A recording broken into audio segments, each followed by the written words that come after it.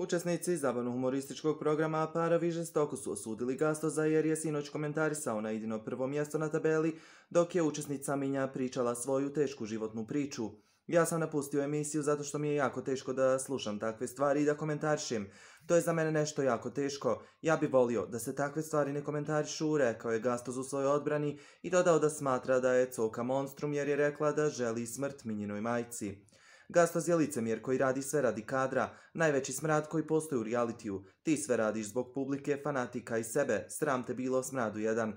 Ja svoje dijete ne udaram ni po guzi, ne mogu ni da zamislim tu ženu majku, zato sam tako reagovala, objasnila je Coka u svom izlaganju.